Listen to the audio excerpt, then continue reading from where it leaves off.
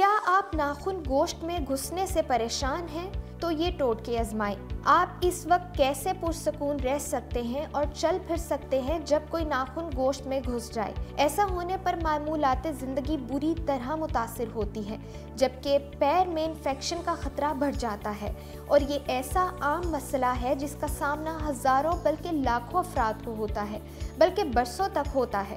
हालाँकि इससे निजात पाना इतना ज़्यादा मुश्किल भी नहीं। तंग जूते, चोट, जीन्स और गलत अंदाज से नाखून काटना इसकी वजह बनते हैं।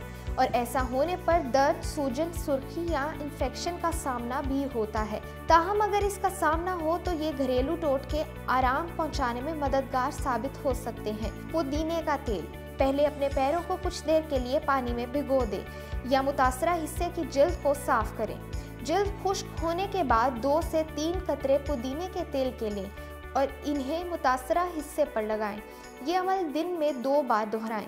पुदीने के तेल में मौजूद मेंथोल दर्द में कमी लाएगा, जबकि जरासीम कश होने की वजह से ये मज़ीद इन्फेक्शन से भी तहफ़ फराहम करेगा बेकिंग सोडा।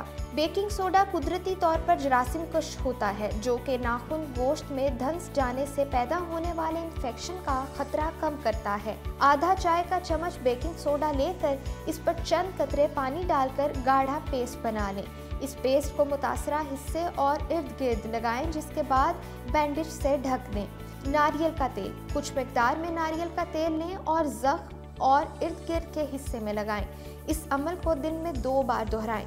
नारियल के तेल में मौजूद फैटी एसिड फंगल कश और वर्म कश होते हैं, जो कि गोश्त में धंस जाने वाले नाखून को बाहर निकालने के साथ साथ दर्द से रिलीफ फराहम करते हैं। लहसुन। लहसुन के दो से तीन टुकड़े पीस लें और फिर उन्हें जख्म पर लगाएँ। इसके बाद पेस्ट को बैंडेज से ढांप कर रात भर के लिए छोड़ दें।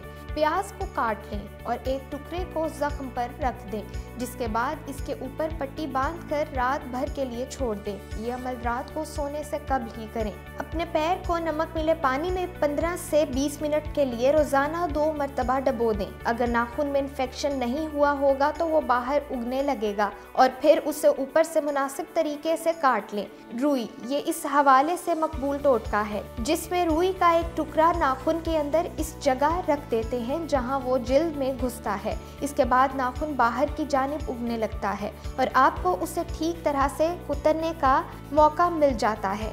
इन्फेक्शन से बचने के लिए रुई के टुकड़े को सेब के सिरके में डबो कर रखें और रोज़ाना उसे बदल दें। दांत साफ़ करने वाला धागा। जिल्द में घुसने वाले नाखून की सिमत को बदलने के लिए दांत साफ़ करने वाले नरम धागे का एक टुकड़ा इसके कोने में रखें। धागे के बाहर निकलने वाले हिस्से को काट कर उसे वहाँ छोड़ दें। इस तरीक़ाकार से नाखून को मुतासर हिस्से से अलग करके दर्द में कमी लाने में मदद मिलेगी। विक्स। विक्स की थोड़ी सी मकदार मुतासर नाखून पर मल लें और फिर पट्टी से ढाँप दें।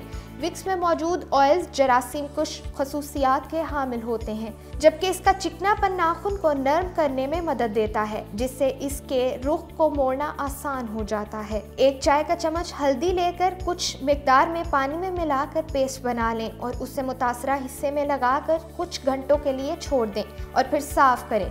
या पट्टी से ढांप कर इस पेस्ट को खुश्क होने दें। ज़रूरत पड़ने पर यह अमल दोबारा दोहराएँ। सेब का सिरका। सेब का सिरका जरासिम कुश और वर्म कुश खसूसियात रखता है। जो इन्फेक्शन की रोकथाम करने के साथ सूजन के शिकार जल्द को आराम पहुंचाता है। लीमू का अर्क और शहद। लीमू और शहद भी जल्द के लिए जरासिम कुश असरात के हामिल साबित होते हैं और वो मुतासरा नाखून में मुमकिन इन्फेक्शन के खिलाफ लड़ते हैं। नाखून को सही तरह काटें। अगर इस मसला से आइंदा बचना चाहते हैं तो अपने नाखून को दुरुस्त तरीके से तराशें। हमेशा कोनों से नाखून को काटना शुरू करें। दरमियाने हिस्से से नहीं।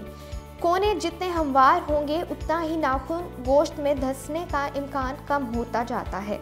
आरामदेह जूते पहने। अगर कभी इस मसले का सामना हो चुका है तो ऐसे जूतों का इंतखब करें जो उंगलियों को ज़्यादा स्पेस फराहम कर सके।